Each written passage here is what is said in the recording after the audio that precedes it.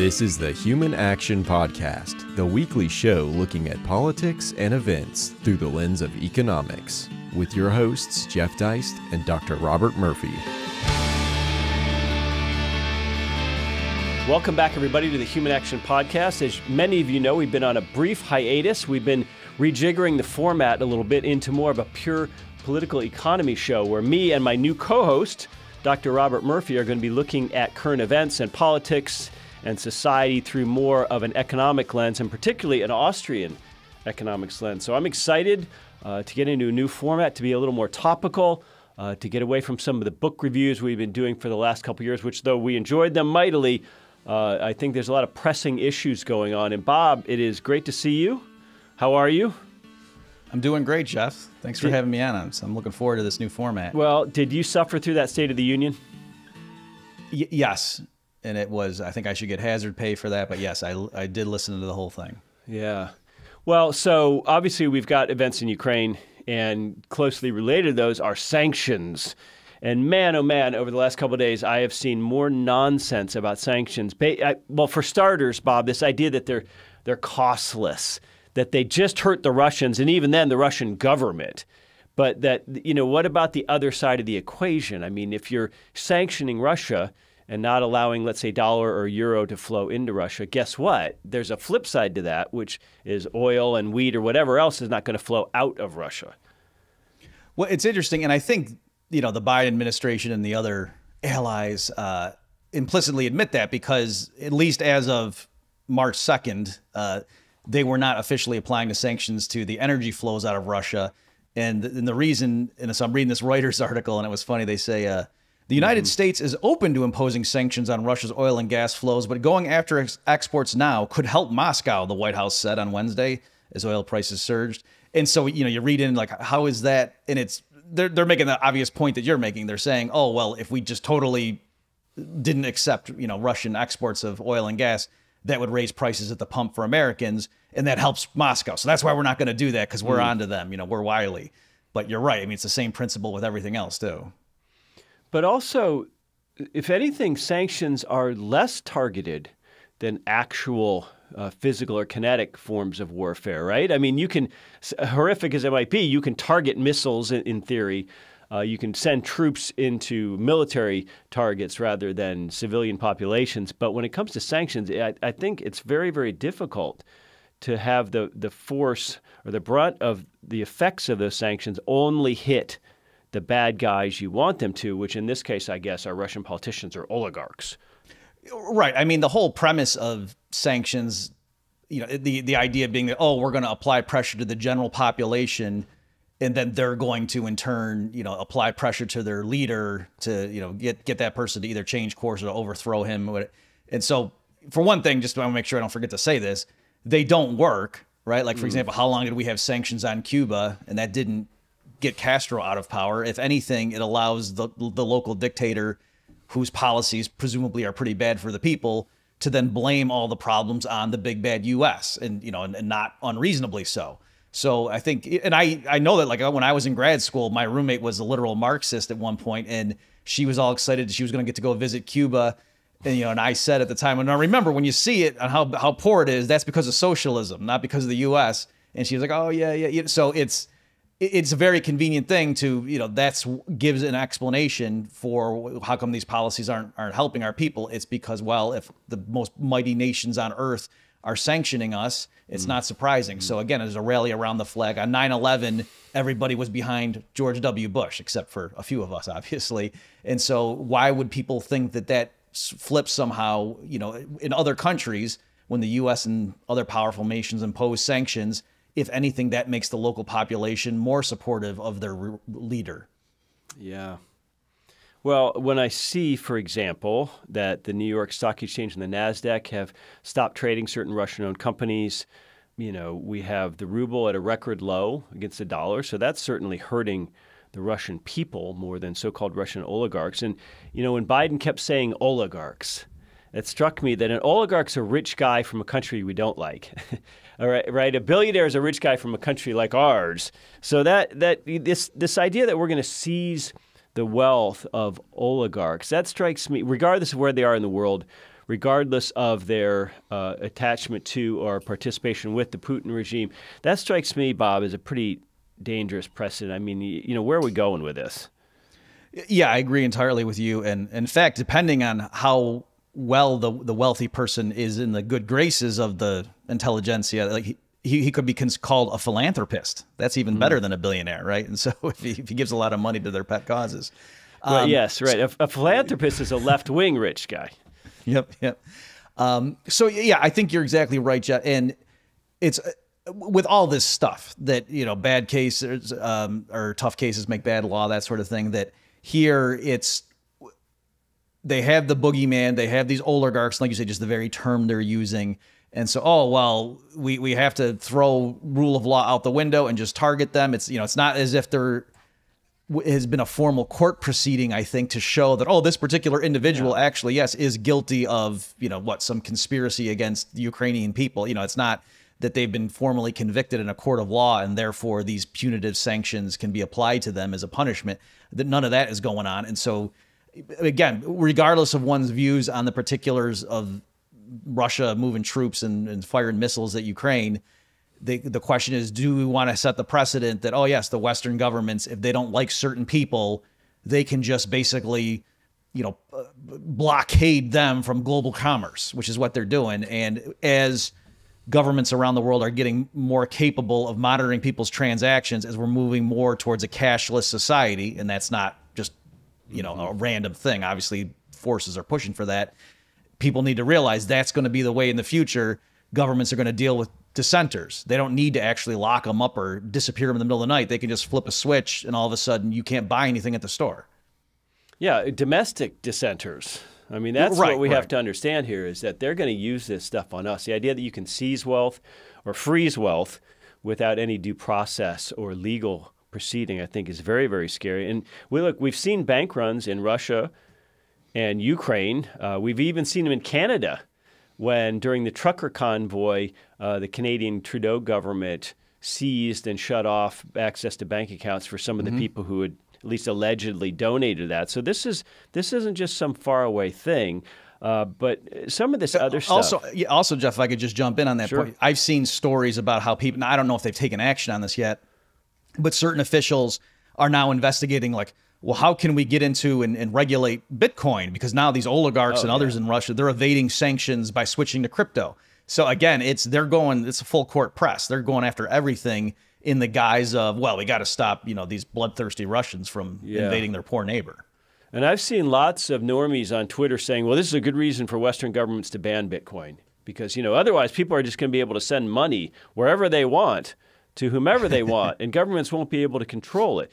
And of course, that's related to the SWIFT system, uh, which, which, controls clearing transactions across the world for banks. And the U.S. effectively controls the SWIFT system, which you know the Russians have now been kicked off of. So again, the workaround for that is going to be that the Russians are will be more interested in the emerging Chinese system, the Chinese competitor to the SWIFT system for clearing interbank transactions in different currencies. Um, you know, I, I, mean, there's a lot of bad fallout from all of this. I think people need to understand. Look, as, as I agree with Bob. I don't think sanctions work, but I understand people who are like, come on, we got to do something. And you claim to be non interventionist. At least we got to at least apply economic pressure on the Soviets, or else they're just going to be this rogue nation. Look, they're, they've made this military incursion into a sovereign Ukraine, and so you you know you can't be such a pacifist. But but look at some of the, the fallout from this. I mean, we have this. Uh, Valery Gergiev, I hope I'm saying that correctly. He's uh, supposedly close to Putin, but he is the conductor of the Munich Philharmonic. Well, he's been kicked out of his job because, uh, you know, like a prisoner of war, he wouldn't sign a sheet of paper denouncing Putin and the war. I mean, that's that's sort of stuff. This guy hasn't lived in Russia for a long time. We have. I'm reading about uh, Canadian junior hockey banning Russian and Belarusian athletes from joining it. I mean, even from the Paralympics, the Paralympics, the handicapped people, uh, Russians and Belarusians are being prohibited from participating in that. I mean, uh, you know, look, if we're going to start seizing people's money because they have some involvement you know, maybe we need to seize the Biden's family money. Mm-hmm. Uh, I mean, this is just unbelievable. And it, what, I guess what bothers me, Bob, is that you'd think with social media, especially on the ground social media, we would be able to cut through the fog better than we could uh, during, let's say, when W was invading um, Iraq. But but uh, we find it's the opposite: is that the sort of the mainstream narratives get boosted and amplified by these credulous social media users. At least that's my experience. Yes, same with with me. And you you do you would have thought that ah, at least with Twitter and things like that, people on the ground, and they, they can do that in uh, you know sort of guerrilla journalism. But and we know why. It's because they've adopted policies and went from the top down to sort of clean that stuff up and get rid of disinformation. Speaking of which, it's hilarious to me. I was listening to NPR and the coverage of this stuff, and they were talking mm. about how oh the Russian government they're cracking down on um, like the ability of people to get accurate information you know and and so and so not and like the, you know and the commentator was saying how there was this divide among the russian people that the younger people those who have access and i think they even used the term alternative media are getting the real message, whereas the older Russian population who rely on state media, they're being fed the Kremlin's mm. line. And, mm. and I'm listening to this on national public radio, who of course are totally, you know, pro Biden and everything. So it, it was just kind of ironic that, you know, oh my goodness, can you believe that the Russian government is using official, you know, state sponsored media to get its message out there and they're yeah. cracking down on the ability of people to get the alternatives. And meanwhile, you know, we're cracking down on COVID disinformation, et cetera, et cetera, according to them. So the whole thing. I, I do want to circle back, Jeff. You made a great point about even no matter how much you try to target these things, it's going to have a general fallout. And you and you explained why, if for no other reason that if the Russian ruble falls, right? So even if they just targeted very specific things in terms of exports out of Russia, well, that other things equal is going to make it harder for them you know, if in other words, if foreigners who have their own currencies are prevented from buying those particular exports, then in general the Russian ruble falls against other currencies, which makes foreign goods more expensive for domestic Russians, even if they had nothing to do with the particular industry being targeted. So again, it's it, it's you know the economy is a very interrelated thing, and it's hard just to punish one little segment of these people over here without hurting their neighbors. Yeah, and it's hard to do it without unintended consequences too. Um, you know, we talk about uh, like Apple Pay and Google Pay are, have been shut off for Russians. So apparently people use them in the subway in Moscow. So there's these huge lines because people are trying to get the tokens or the physical rubles or whatever they need to pay without having Apple or Google uh, on their phone, you know, working. And and so I'm sure Apple Apple oh I know for a fact Apple and Google both have so much cash on their balance sheets. I mean they're they're like hedge funds unto themselves. So they're not sweating this loss of business. And more importantly, they can have good press. They can say, "Hey, we're part of the war effort. We shut off access for these Russians to our products," and they can uh, you know get some good press out of it. But think of like a smaller U.S. business which had just recently, in the last five or 10 years, started you know, getting some sort of access into selling goods or services in Russia. And now all of a sudden, you know, and that's 80% of their business or something. I mean, they, they're blameless in this.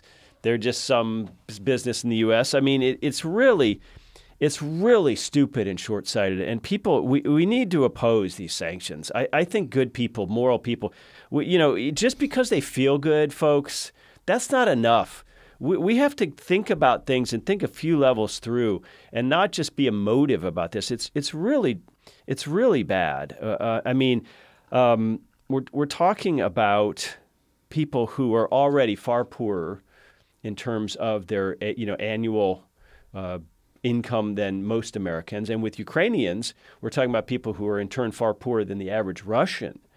Um, so these countries are not, you know, nearly as economically strong as we think they are. And, and if we start uh, just imposing ourselves on them with sanctions, I mean, that's really a form of war. Sanctions are war. Uh, and, and, it's easier to think of. I've just been reading RFK Jr.'s book on his family. It's easier to think of with an island like Cuba, right? Because Cuba, when we had a blockade on Cuba during the Bay of Pigs uh, and the Cuban Missile Crisis, I mean, we could literally militarily prevent ships and planes from bringing any stuff to Cuba, including food. And you can imagine how desperate Cuba was in the early 60s. But, but Cuba uh, is very, very small and economically dependent on, on you know they don't produce a lot of agricultural products, they don't produce a lot of oil, they don't produce have a lot of natural resources, so they're really dependent on imports to survive.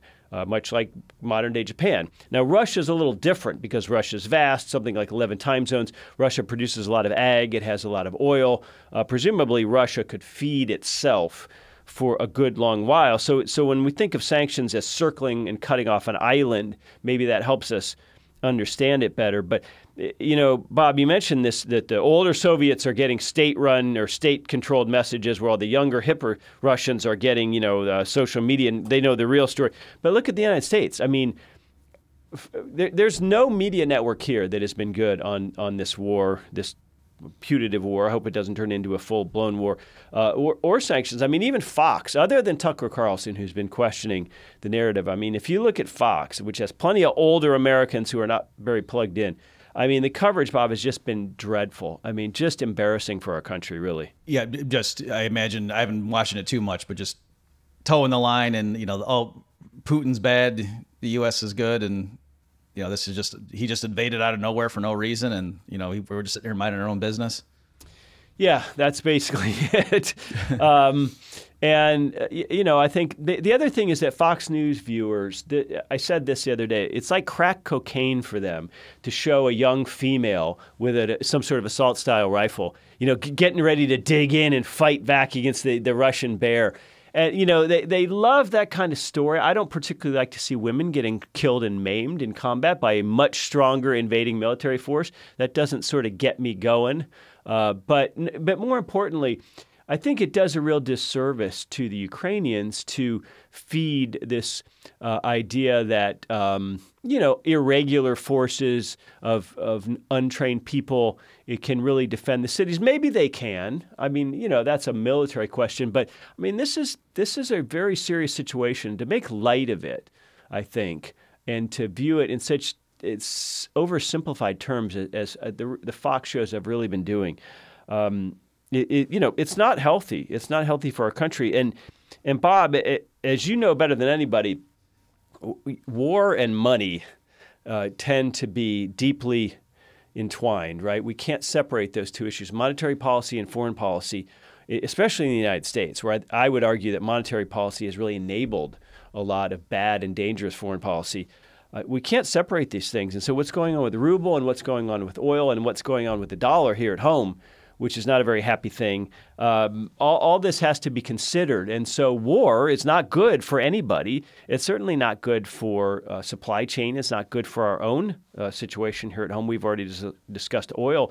But uh, Jerome Powell had his annual or, or twice annual hearing before the uh, Financial Services Committee yesterday. And wow, it wasn't uh, a kumbaya, warm and fuzzy thing. I mean, he basically said, yeah, this inflation isn't transitory. We're going to get it under control, but prices aren't rolling back to what they were before. So I guess transitory now is out the window. Right. Yeah. He's definitely said that. I think he even signaled that before too. That you know, saying we're not using that word transitory anymore. So that's certainly gone. They're they're pivoting. In what is interesting though, you know, as of the most recent official numbers, so the you know the, the the the headline CPI number is the highest it's been in 40 years, while the official unemployment rate is four percent and change. And so, according to their own you know exposition of you know here's what our doctrine is in terms of balancing these two forces, they should be hawkishly raising rates and so and so far you know rates are still rock bottom levels if you look at the fed's balance sheet they're still buying assets mm-hmm. every month they they slowed the rate of accumulation a few months ago, but still the Fed's balance sheet, you look at it, it's it's rising steadily.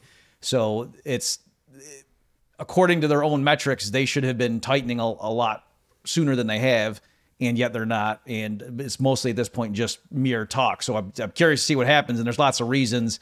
One of which is, you know, we've talked about, and you've talked with other guests, Jeff, that they sort of painted themselves into a corner with how much debt they've issued. And so there's so much outstanding treasury debt at this point. Just to, if the whole yield curve shifts up a few points, I mean, that's going to have devastating consequences on the federal government's finances.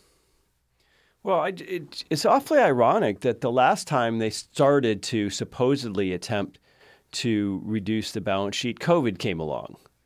And so COVID gave them the excuse, and maybe it even kind of bailed out the Fed to say, oh, well, this is a pandemic. Clearly, we need to take extraordinary measures. And now, with COVID settling down, just as they were about to, and Powell had announced this, start reducing the balance sheet. Well, oh, now we've got a war with Russia.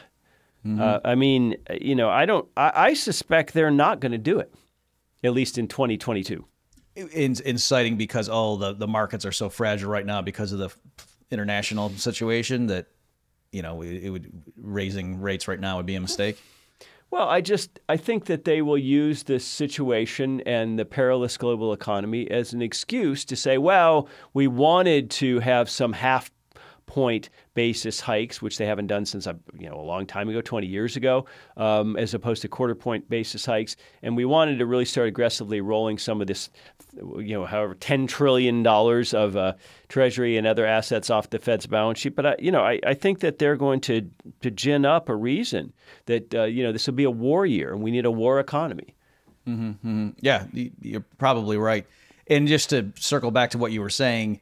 Uh, one thing when I was uh, teaching in undergrad classes, I would I would show a chart of the the Fed's balance sheet, you know, for the 20th century, and just say, hey, if you ever forget when there were major U.S. wars, just look at the Fed's balance sheet and you can tell. Mm. You know, and mm. except for a few things like the you know the great inflation of the 70s, you know, once they went off the gold standard, but certainly when the Fed was nominally tied to gold somewhat, that you could tell whenever the Fed's balance sheet mushroomed is because oh yeah, there's World War One, there's World War Two, there's you know Korea, Vietnam. So it's it's it's not surprising if they have. And what's interesting too is that's not a you know conspiracy theory.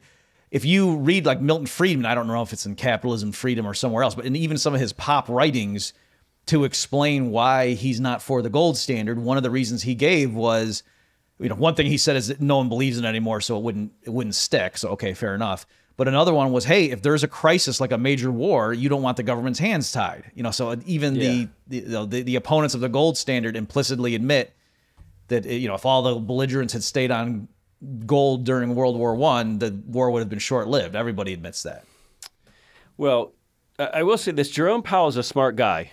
Uh, he's a very well read guy, and he speaks carefully at these hearings, as all Fed chairs have done. He's not as opaque uh, as the Alan Greenspan, who is an absolute maestro at saying nothing in many, mm-hmm. many words. But Powell's careful. He's a careful guy. He's a lawyer by training, not a, an academic economist. So when he says things like, well, which he did yesterday, uh, well, earlier this week, for those listening to the show over the weekend, uh, when he says things like, well, you know, the world can have more than one reserve currency.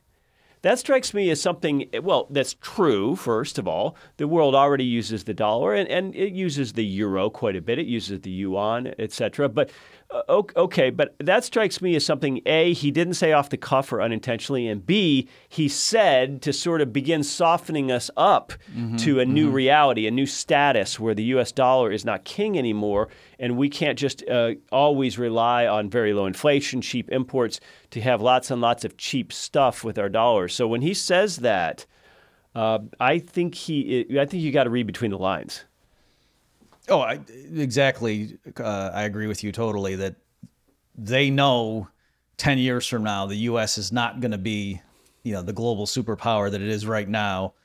And, you know, maybe there won't be a replacement. It might just be a bunch of, you know, uh, regional powers and so forth. But you're right. They they don't want there to be a huge crash. They don't want the dollar just to fall one Thursday morning when everybody wakes up and realizes the problem. And so, yeah, how, how do you get out of that? Mm-hmm. You got to just make it sound real matter of factly, like you said, just state true statements. You know, so they're not to say, hey, the U.S. is no longer going to be the you know have the world's reserve currency, just to make a factual statement. There doesn't need to be one, and and just sort of ease people into it. And it's yeah, yeah, that's I think that's sort of the with the, with these things. You know, when, is there going to be a currency crisis, and when's it going to come? Well, when it comes, it'll be real fast.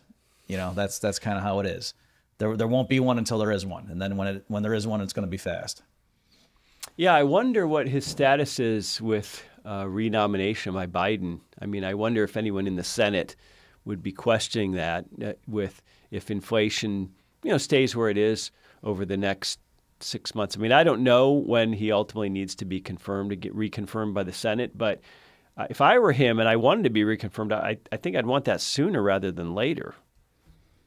Oh yeah, absolutely, because things are just going to get more awkward. And again, Mm. I don't relish his position. What, what are you supposed to do when Yeah. you you come in and the Fed's balance sheet's looking like it is, and then during you know the the crisis and what what the you know COVID when things were depressed, okay, but at this point, as things slowly start going back to normal and prices start rising, what are you supposed to do? That that he, no matter what he does, it's going to be bad for somebody, for some groups. Yeah.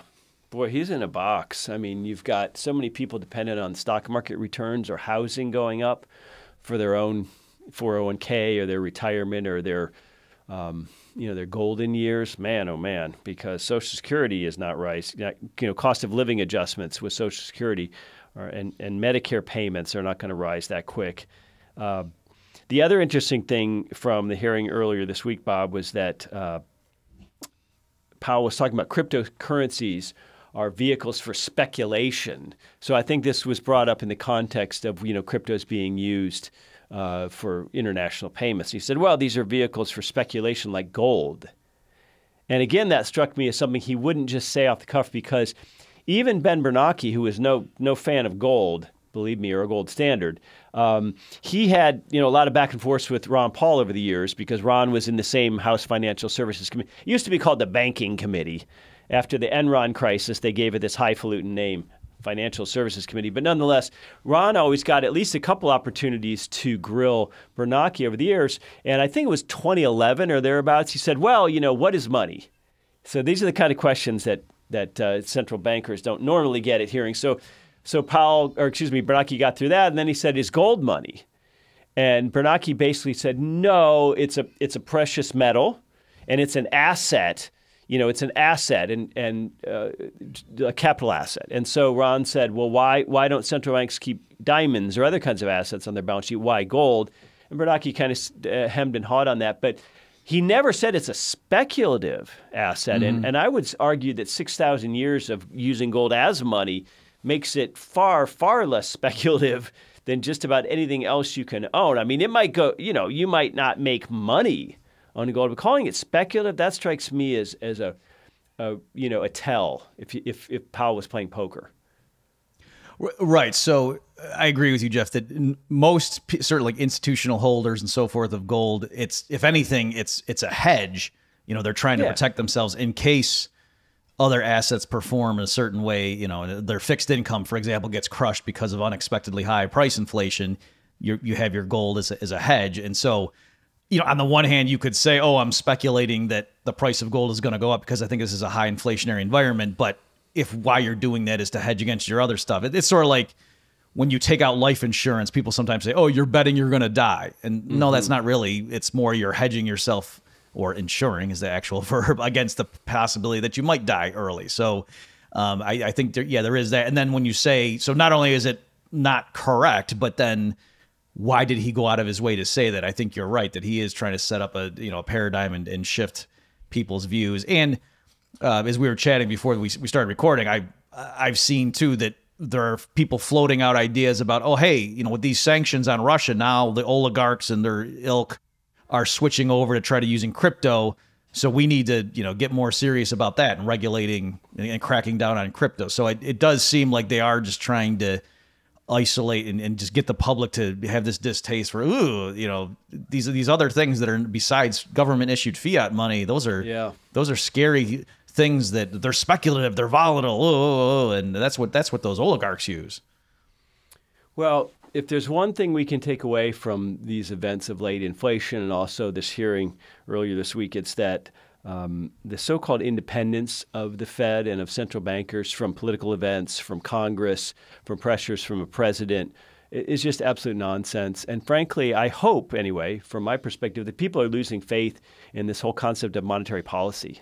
I mean, it, it doesn't work. We don't need monetary policy any more than we need housing policy or oil policy or automobile policies, right? We need to let the market work here. And if you want an example of, of how hacky and politicized and unserious this whole process is, just go to the C SPAN hearing earlier this week with Jerome Powell because it opens with the chair of the House Financial Services Committee, Maxine Waters. Okay, so you, know, uh, G, the Mercatus or, or Cato can send as many white papers as it wants about uh, rules-based monetary policy over to Capitol Hill. It, Maxine Waters is a is a partisan hack.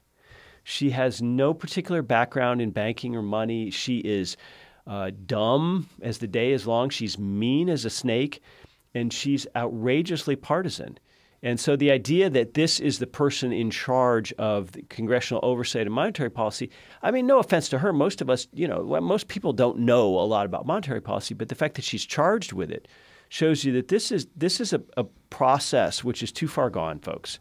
It's too far gone. So we need to be thinking outside the box. We need to be protecting ourselves and figuring out how we're going to deal with uh, what's coming with the dollar. I don't think there's any other way to think about it. So all that said, Bob, why don't you give us your final statements? So number one, I think Maxine Waters could be brought around to NGDP targeting if it were just explained to her in the appropriate vocabulary. So no, that's obviously I, I agree entirely with with you on that one. That it's I get why people go through the motions of hey we got to try and what, but yes, the idea of reforming the current system right now it's again it's under the old Soviet Union. If, if they asked a bunch of economists, hey how how much wheat should be grown, where where should we put the stores?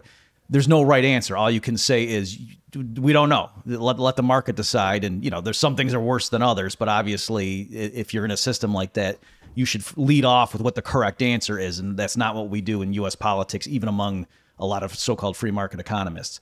Um, yeah, more generally, again, sanctions, they're immoral, right? They're not targeting the, the bad guys, even if you accept the official narrative of, you know, who's to blame for these mm-hmm. things in terms of the military action and they don't work, right? It's not just like, well, yeah, some innocent people get thrown under the bus, but at least it, it, it they, they don't work in terms of stopping the regime in, in, in question. Again, just look around the history of U.S. sanctions on allegedly, you know, bad dictators and so forth.